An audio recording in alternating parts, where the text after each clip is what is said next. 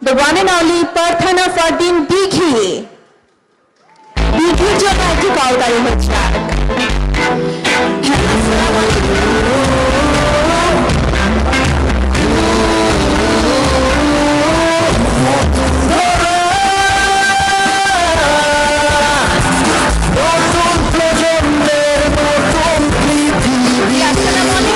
আমি তিরিশ সেকেন্ডের জন্য মাইকটা ছিনতাই করেছি।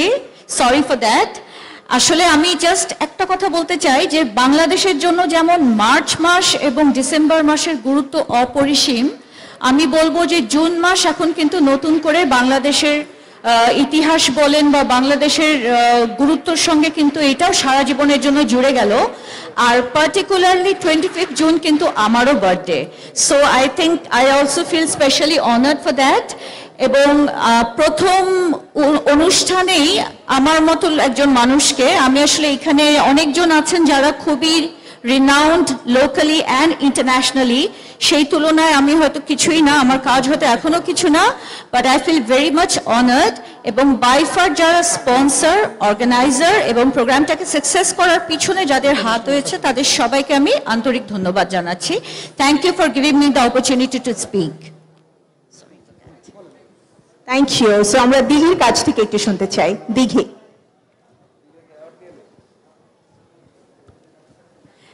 দিঘির জন্য আরেকটা করতালি চাই প্লিজ